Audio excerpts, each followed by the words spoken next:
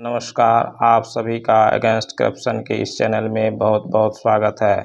आज हम लोग जानेंगे सूचना के अधिकार अधिनियम 2005 के तहत अपने विधानसभा क्षेत्र में विधायक द्वारा विकास निधि से संबंधित सूचना किस प्रकार प्राप्त करेंगे, इसके बारे में जानकारी प्राप्त करेंगे। जो इस चैनल से पहली बार जुड़े हुए हैं, वो अवश्य सब्सक्राइब कर लें तथा ऑल पर क्लिक कर दें।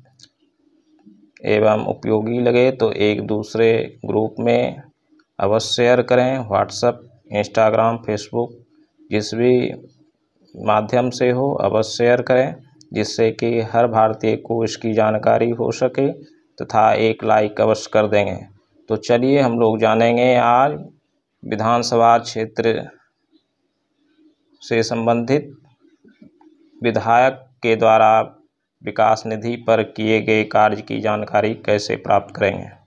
तो आप लोग फॉर्म यदि होगा प्रपत्र को का तो फॉर्म भर लेंगे या टाइप करा लेंगे या सादे कागज़ पर भी इस तरह सूचना मांग सकते हैं। सूचना के अधिकार अधिनियम 2005 के तहत प्रपत्र को सेवा में लोक सूचना पदाधिकारी, विधानसभा भवन का कार्यालय अपने अपने राज्य का नाम यहाँ लिख देंगे, राजधानी का नाम लिख देंगे।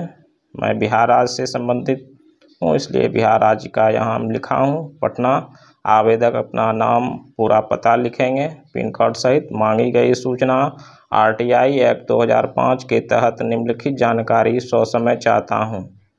पहला, अपने अपने विधानसभा क्षेत्र का यहाँ नाम लिखेंगे, जिस भी विधानसभा क्षेत्र से संबंधित आप सूचना चाहते हैं तो मैंने आलमनगर विधानसभा क्षेत्र के अंतर्गत वर्ष 2015 से 2020 आपको जिस भी वर्ष से यहाँ संबंधित सूचना चाहिए, उस वर्ष का नाम लिखेंगे। के दौरान इस निर्वाचन क्षेत्र के विधायक द्वारा विकास निधि से कराए गए सभी कार्यों से संबंधित निम्नलिखित विवरण दें।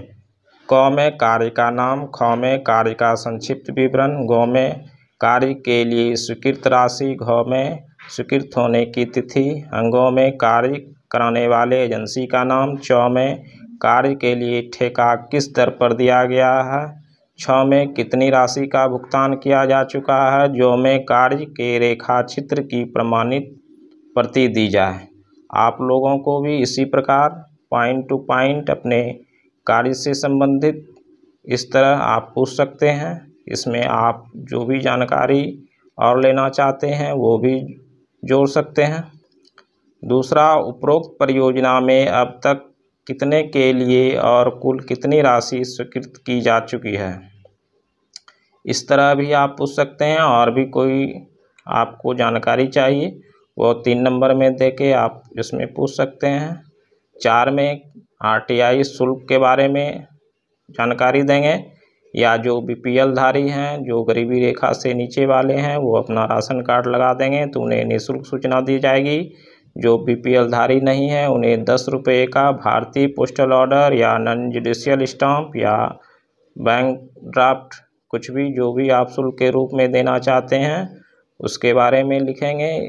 मैंने यहाँ दस रुपये का भारतीय पोस्टल देना जा रहा हूँ तो इसके लिए मैं दस रुपये का भारतीय पोस्टल ऑर्डर रसीद संख्या पोस्टल ऑर्डर में रसीद संख्या होता है, इसमें नंबर दे देंगे, से दे रहा हूँ।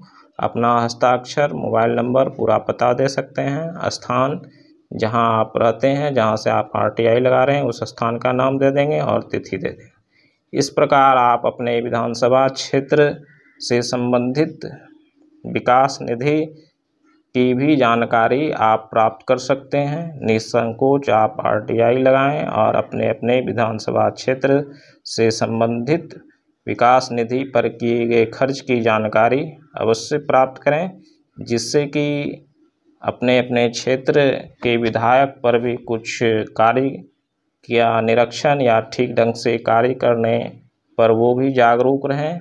उनको भी जानकारी हो कि हमारे क्षेत्र में ठीक ढंग से काम हो रहा ना हो। इसलिए हम सभी को इस पर भी आरटीआई अवश्य लगाकर सूचना मांग सकते हैं। जय हिंद।